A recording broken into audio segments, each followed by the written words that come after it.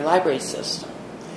We're going to make the connection between ancient art of origami and designing paper planes and realize why flaps and folds matter.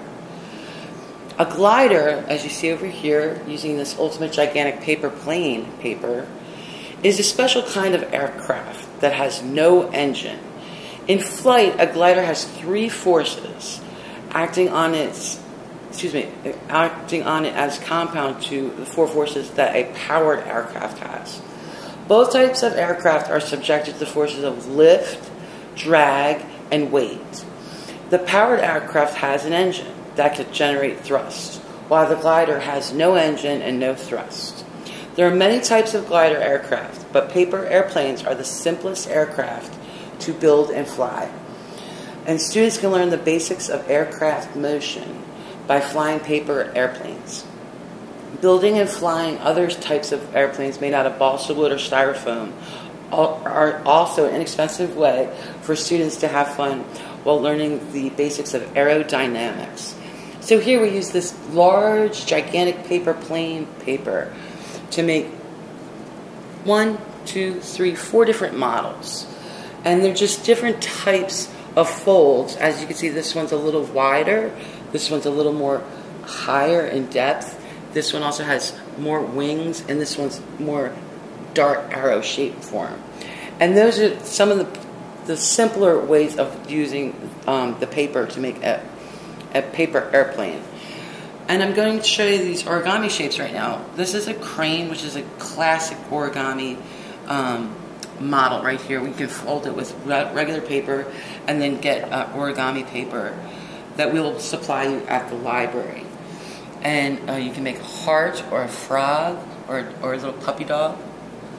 And the paper is so beautiful. So if you have the chance to use either type to make any shape or form, you can. We have this great book we're going to talk about later. But when you actually come to the library, we'll give you one of these craft um, kits to go.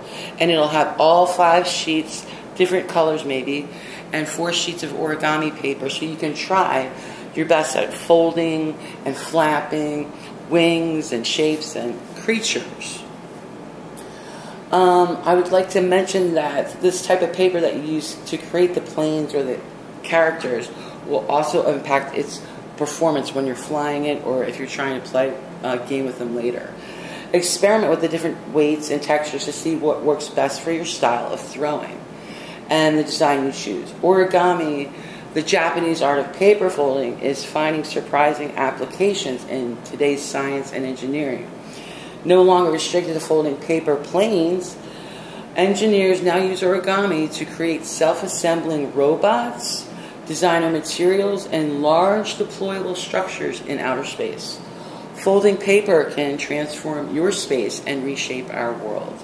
So try to do a search for NASA projects to see how the wings of the space station rovers unfold, or check out the Mars Phoenix lander. You can apply the patterns in simple origami and paper planes design to creating an orbiting spacecraft of your very own.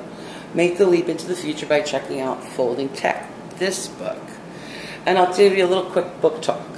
Space probes, self-assembling robots, crash-absorbing cars, and designer proteins all have one thing in common their use of folding technologies.